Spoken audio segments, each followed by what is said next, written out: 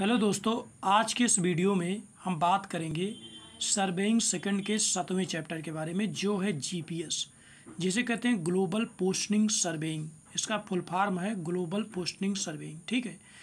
ये fifth semester student का syllabus है, ठीक है? Survey second. तो इसके बारे में आज हम डिस्कस करते हैं तो बेसिक जान लेते हैं सबसे पहले, जीपीएस क्या होता है?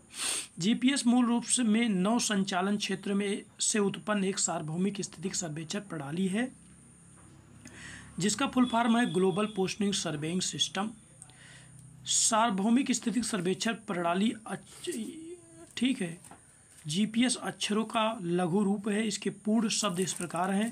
Navigation system with time and running global posting system नौ संचालन के समय और संरेखण पर आधारित सार्वभौमिक स्थिति प्रणाली, इस प्रणाली को अमेरिका ने सन उन्नीस सौ तिहत्तर में विकसित किया था और वहीं इसका अनुरक्षण करता है, जिसके पास जीपीएस अभिग्राही है, वही इस तक पहुँच रख पाता है।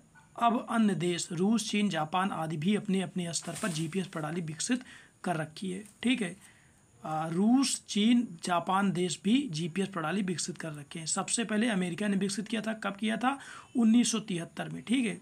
तो ये जीपीएस के बारे में गाइस बताया गया है। वीडियो रोक करके आप इसको अच्छे से रीड कर लीजिए, ठीक है?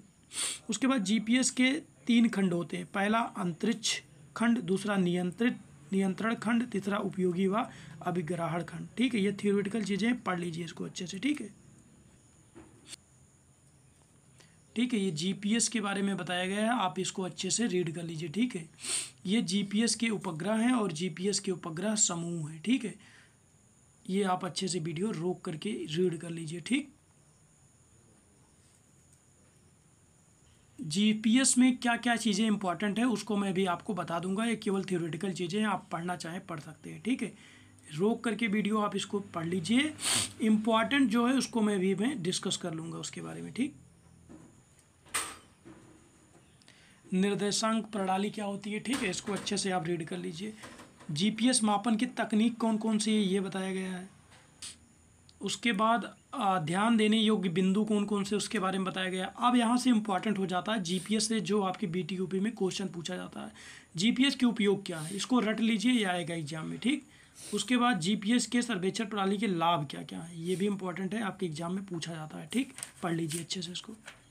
उसके बाद जीपीएस के प्रणाली के दोष क्या क्या हैं जीपीएस से सर्वे करने के दोष क्या क्या हैं? उसके बारे में बताया गया है।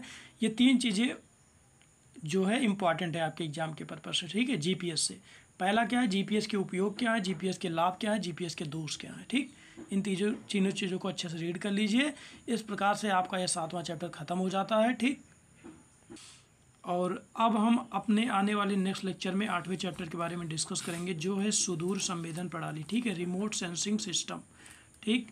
और अगर सातवें चैप्टर में आप में कोई चीज़ समझ में नहीं आई है तो कमेंट बॉक्स में कमेंट कर देना, उसका अलग से वीडियो आपको मिल जाएगा, ठीक है?